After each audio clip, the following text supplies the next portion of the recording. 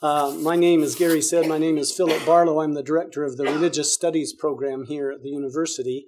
And this will be the second time that the Religious Studies program has partnered with the new Academy for Temple Studies in um, bringing the symposium to campus. Uh, many of you might have um, been here for our first one in September or October.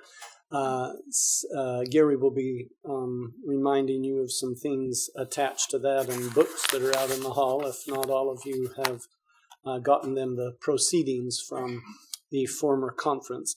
Uh, we'll also be having a symposium on the temple again in the fall, so you can look forward to that with um, details forthcoming as they're worked out. But we're glad in your busy schedules that you were able to join us. Um, I am going to put, are we projecting from this table or anything? It's just a friendly table here. We have just a little bit of artwork table um, here, and I am going to put on that table a yellow sheet of paper or two that during a break or after our proceedings um, this evening, if you would like to be on our mailing list, email list for conferences and speakers, lectures, and symposia that are sponsored by Religious Studies. Um, we'd love to have you do that. We have something that you might want to take note of these dates um, right now if you're not on that email list because publicity will go out about it shortly. But in March and April, we are having a four part symposium on uh, religious responses to the Holocaust. And on March 7th, coming up very soon, is our first lecture, um, and that will be by Dr. Emil Kerenji uh, from the U.S. Holocaust Museum. He's a research scholar there full time, and he'll be talking about Jewish responses to the Holocaust from spiritual and religious practices to armed resistance.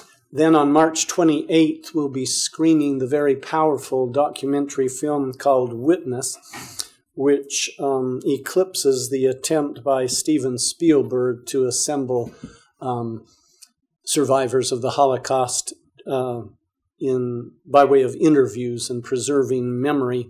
Um, this is rather a more powerful collection of responses, and it includes responses about the annihilation of faith through the event or the retention of faith through the event or the formulation of new faith through the wretched ordeal of the Holocaust. Um, we will have responses from professors Alice Weinrib and Stephen Siporin here on the USU faculty, who are experts in Jewish studies, along with conversation with the audience. Then on April 4th, uh, we will have Dr. and Jack. Um, it came to my attention in my head just now that I'm not positive of the pronunciation. Is it, does uh, Dr. Keele go by German pronunciation, Keele? Keele? Keele. Uh, Dr. Alan Keele, Emeritus Professor of German Studies at Brigham Young University, will be with us um, to speak about what can Mormons in, and others in the U.S. learn from the case of Mormons in the Third Reich.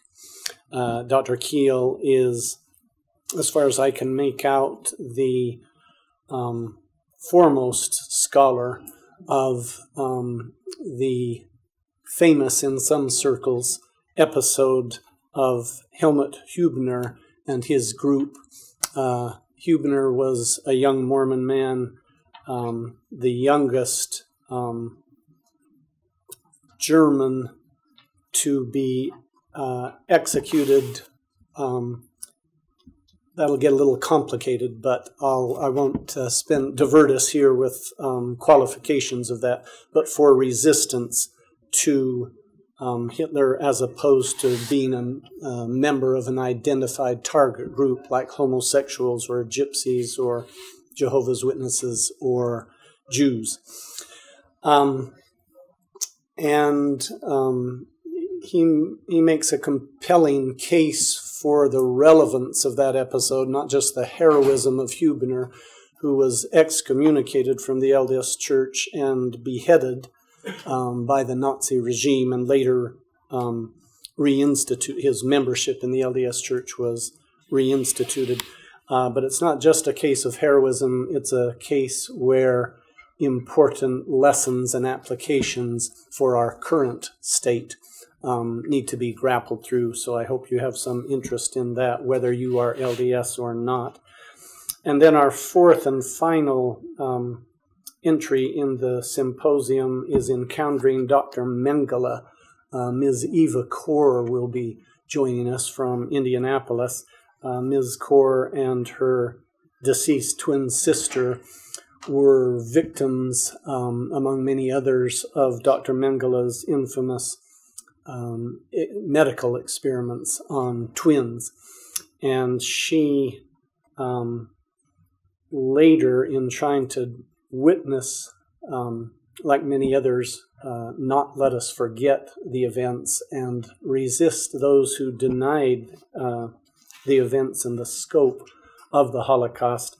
Uh, in the course of her work, um, she decided to, for herself, not speaking for any other agency or people, to forgive uh, one of the perpetrators and actually issue an amnesty to perpetrators and nations complicit in the perpetration of the crime. Uh, that's both inspiring and controversial, depending on your angle of vision.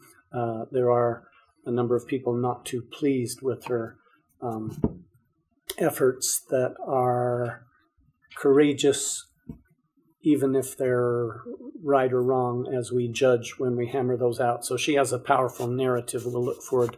These will all happen on Thursday nights, um, either at 6.30 or 7 p.m., so please um, make note of that. Uh, so the Religious Studies program and uh, is active in public outreach as well as here on campus, and we're delighted to have you uh, with us. Um, uh, both both the Academy for Temple Studies and the Religious Studies program welcomes you, and we look forward to a rich uh, afternoon and evening. And we'll turn this podium back over to Gary.